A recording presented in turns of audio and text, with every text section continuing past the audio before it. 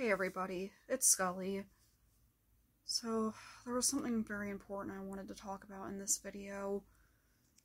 I I contemplated making this video forwards and backwards, but I decided it was something I wanted to talk about given my own experiences recently. I figured it might open the doorway for other people to talk about it with similar experiences, possibly even more experience than myself. I only have really limited knowledge on this topic, so um, please feel free to add to it or to enlighten me if I've missed anything. But I wanted to talk about gender identity. Um, gender is something I always found to be a very fascinating topic. You know, it's something that exists on a spectrum, unique from one individual to the next. Your gender identity is how you see yourself and your gender, how you express it you know, you can have somebody who's male, you can have somebody who's female, you can have somebody who feels like they're both male and female, neither male nor female. There's really so many gender identities to name, and um, I feel like I hear um, more more of them pretty often, which is really fascinating to me because, again, I, I have very limited knowledge on this topic, and I would like to keep learning and expanding my knowledge on it so that I can you know, have more in depth conversations with people about this topic because I do think it's very important to talk about. So, just from my own personal experience, I just always kind of felt like I was a girl my whole life. Um, but then I kind of started to notice there were certain situations where I started to feel a little bit different, maybe around different people or just different scenarios and I guess lately I started paying attention to that a lot more and just kind of experimenting with that a little bit more and seeing how it made me feel. I don't really know a whole lot about it. It's something I'm still kind of trying to figure out. I was very afraid to talk about it at first because I just didn't know if people would understand. I didn't know if I would understand myself either. I just had a day where I just didn't feel very feminine. I just, you know, figured I wanted to start trying to do things like maybe wear ties and see how that they make me feel. I have some days where I don't always feel like wearing makeup. And I just kind of feel maybe different around certain types of people and I'm sure a lot of things um like that are I'm sure it's probably pretty common to feel that way to some degree. I mean, you feel different around different situations, different people. I think that's part of just being human to some degree, but I guess I just kind of started to wonder, you know, what it would be like if I just kind of dabbled in that.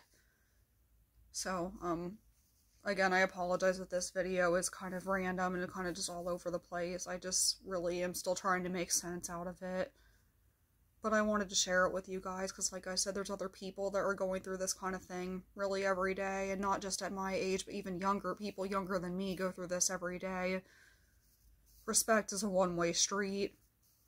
I hope to open the doorway to talk about things like this because it's it's more common nowadays and I, I want people to be able to talk about it. I want them to be able to accept themselves, to love themselves, I, you know, I have friends that have varying different gender identities and I love them all. I love them all like my family.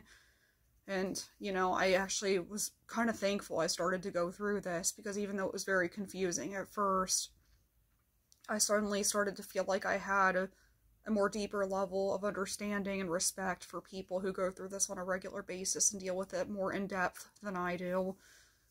So once I started to kind of you know, feel differently, I started thinking, you know, gosh, there's people that go through this every day that feel confused, that feel frustrated on varying different degrees than what I feel.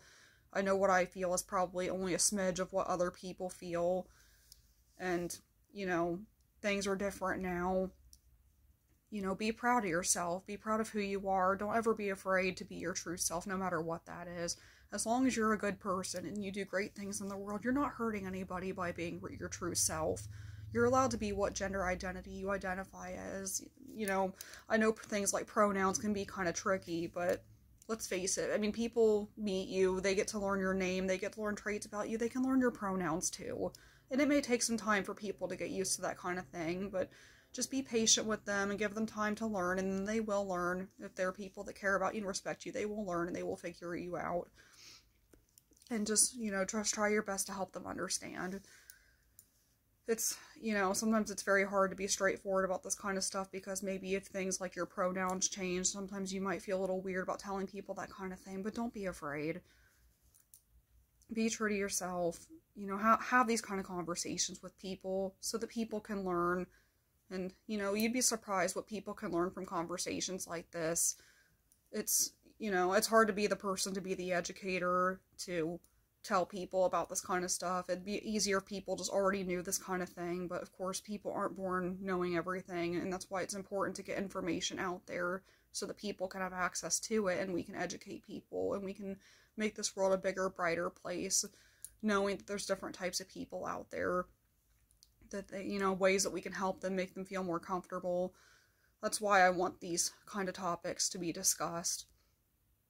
And if you're somebody who out there who's questioning your own gender identity, if you're going through a hard time, be patient with yourself because it's, I mean, you're not going to figure out who you are overnight. You may have to dabble a little bit before you get to know who you are. You may have to mess with your pronouns a little bit. You may have to, you know, go through your wardrobe and see what makes you feel comfortable, what makes you feel happy. I mean, getting to know yourself is something that's very essential to your growth, to your happiness, and it's not something that happens overnight. So don't be so afraid to dive into that that you just shut that door, that part of your life, and just like keep it hidden. It's okay to explore yourself and to get to know yourself better because you're going to be getting to know yourself your whole life, and you might as well be somebody that you're proud of because you want other people to get to know you, you want other people to see the real you. Be somebody that you're proud of always shine, no matter what. So, I really hope this video is very helpful to people that are going through a hard time and questioning themselves.